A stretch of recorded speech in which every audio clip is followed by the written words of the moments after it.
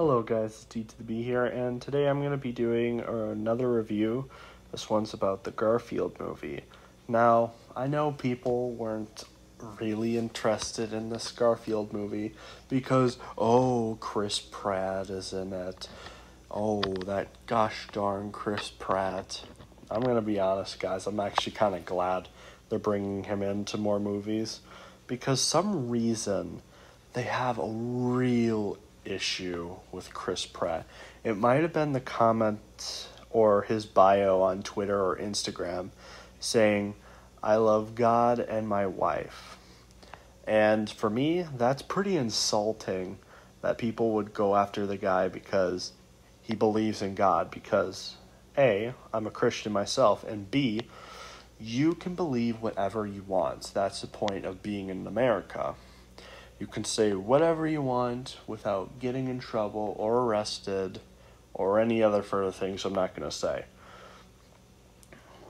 But I can understand also some people starting to get sick of Chris Pratt because they keep putting him in movies that um, don't fit his role. Of course, the last movie he was in, the Super Mario Bros. movie, was really good and I did enjoy it. Yes, Chris Pratt could have done better as Mario, but I like it. And then Garfield was also announced to be by Chris Pratt. When I heard this news, I was concerned about him being Garfield. I thought Chris Pratt would probably do better as a John, but then I saw the trailers and I was generally impressed with the movie, or the trailers at least. I actually liked it. So, um, eventually, me, Elsa C, and that Kermit fangirl went to go see Garfield, and I actually personally really enjoyed it. I was really hoping this movie didn't suck, and in my personal opinion, it didn't. Now, I don't know people's collective opinion on this movie but I actually did really enjoy it as somebody who grew up with some Garfield stuff. Now, I didn't grow up when Garfield was first a thing, but I did grow up with things like um, Garfield and Friends. The I think the first Garfield movie was out, but I barely remember it until the C showed it to me. And last but not least, the Garfield show. Oh, and uh, and um, Garfield in reality or something like that, and a Garfield superhero movie. I'm just trying to remember everything Garfield that I've seen. But continuing on, so why don't we get to the plot? So the plot is basically we open up with Garfield and his va- uh, father, which his father leaves him, and Garfield goes through the streets and he finds John at a restaurant, where John immediately discovers that Garfield is a particular cat and basically eats a lot of things at the restaurant, which I'm surprised that the restaurant people didn't catch him right away and throw him out for having a pet. So then John leaves after finding Garfield and John tries to separate from Garfield because his apartment doesn't allow cats, but he feels bad for Garfield because he has nowhere else to go, so he adopts Garfield and convinces him to get a house and we basically go through a transition and then um yeah, we go to the modern day where Garfield's doing his own thing, his normal routine.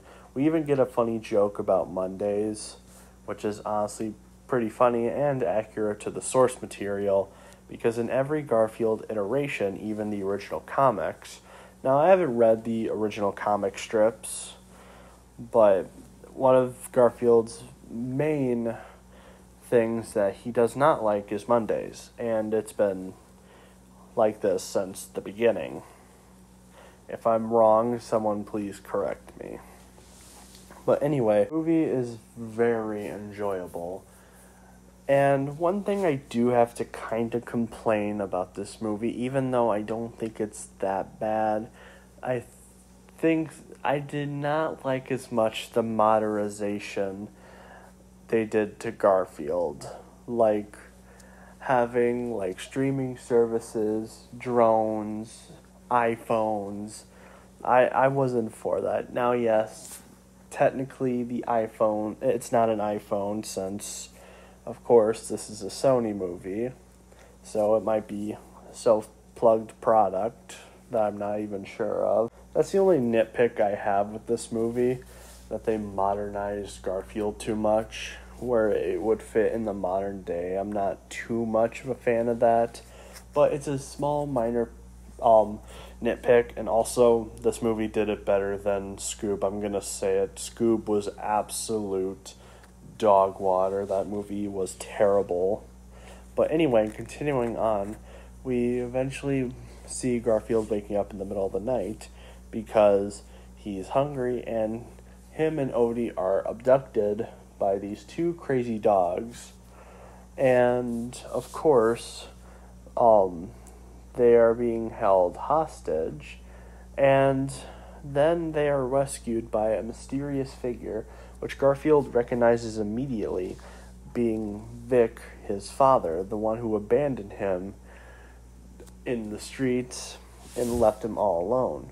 And then we also meet the main villain of the movie, Jinx a crazy cat that Vic had met at some point and was accepted in Vic's gang until she was um, arrested for stealing um, cow milk from um, organic farms or something like that. I can't remember what the farm is. And she went to the pound and then she escaped with two dumb dogs. And they base she basically wants Vic to grab enough milk where it could pay off his debt for getting her captured. So Garfield, Odie, and Vic go on an adventure to get this milk, which, of course, is very secure in this case. Like, very secured, like electric fences, all that. And we get to meet another character named Otto, who was originally the mascot of the farm, but something happened. I can't entirely remember. So Otto, in agreement of freeing his girlfriend, helps them try to sneak in to the area. They almost get caught, or actually, they do get caught, but Garfield, well, Garfield and Odie get caught but Vic escapes. And Vic meets up with Jinx, but she only wanted him to get the milk so then he would be arrested. And then John and Odie and Garfield reunite. And also, we get a joke that John is done with um, answering machines or being put on hold, which is actually kind of funny, to be honest. I generally laughed at this because I understand the feeling of being on hold. It is frustrating. But anyway, Garfield eventually decides after coming home that he needs to find his father.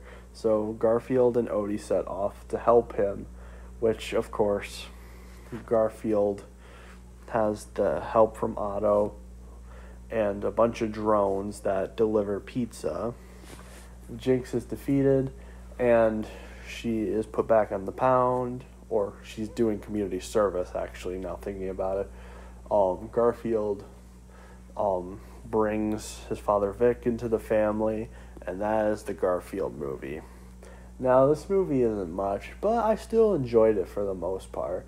Of course, again, I don't like how they modernized Garfield. That's my only big complaint about the movie, but again, it's done better than Scoob freaking hate that movie.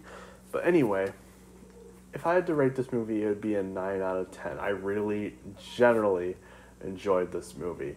There were no dumb kid jokes in it. I actually laughed at a lot of the jokes. Like, this movie generally made me laugh.